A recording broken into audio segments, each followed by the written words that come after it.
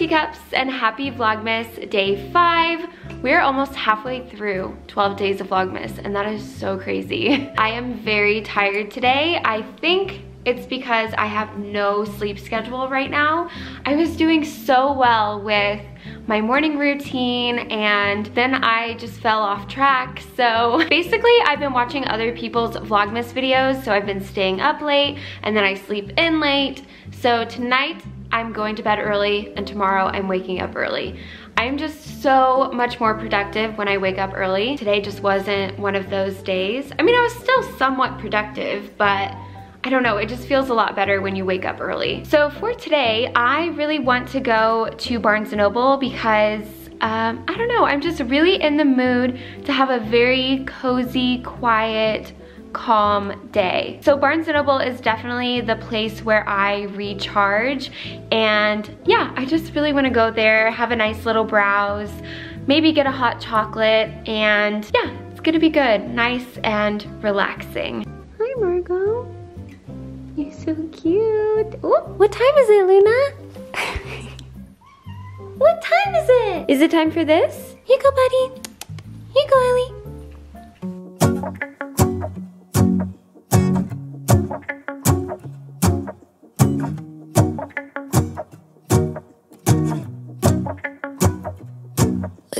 Outside. The snow is falling down, and every child is having so much fun. The snowman is twice the size as me, with a smile as quirky as mine. We're holding hands to keep each other warm while we stand and watch a choir performing all the Christmas songs that we love. Yeah, all the Christmas songs that we love. And in a while, we're gonna go inside and drink our chocolate by the fire.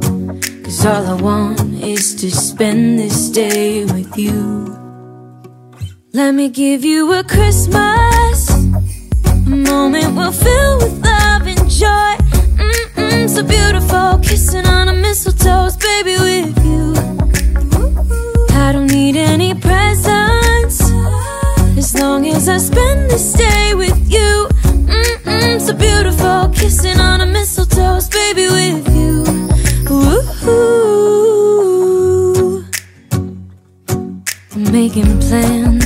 what we're gonna do. I feel so blessed that I can be with you. Cause God knows that I've been longing for you I just wanna hold you close.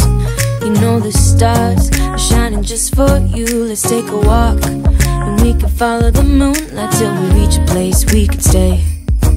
Maybe kiss a bit and dream away. And in a while we're gonna go inside And drink our chocolate by the fire. Cause all I want is to spend this day with you. Let me give you a Christmas moment we'll fill with love and joy. Mm-mm, so beautiful Kissing on a mistletoe, baby, with you. I don't need any presents As long as I spend this day with you. Mm-mm, so beautiful Kissing on a mistletoe,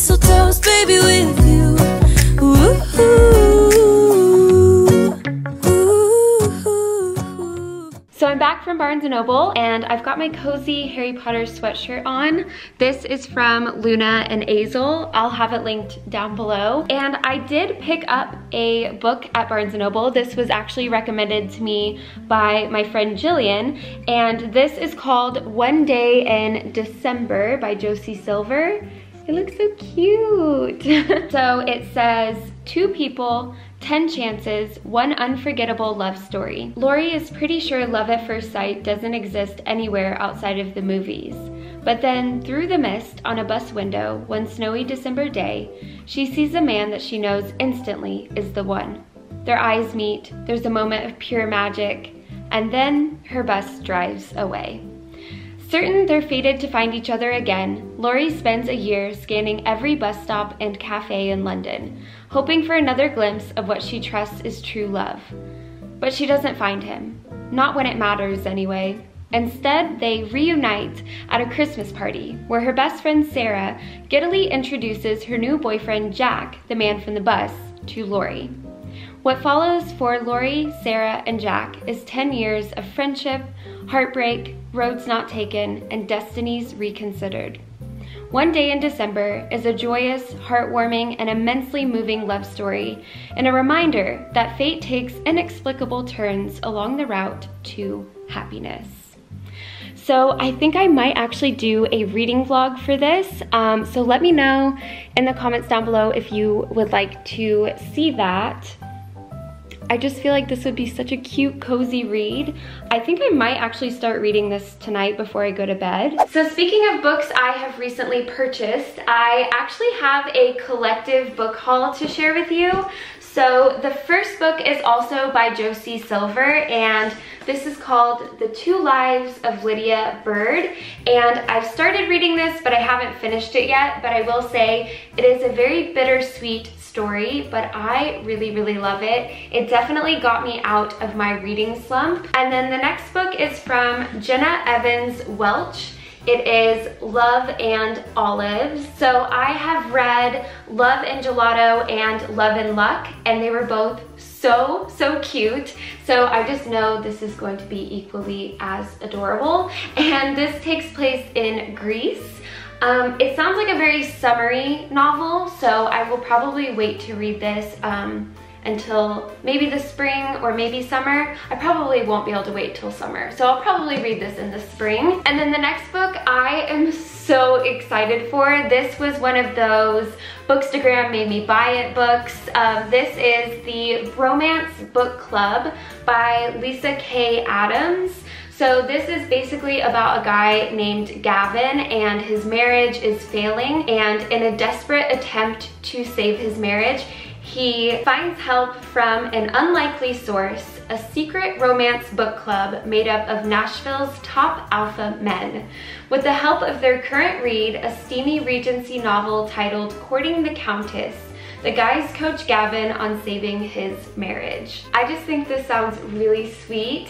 And then the next book, this is called Rent a Boyfriend.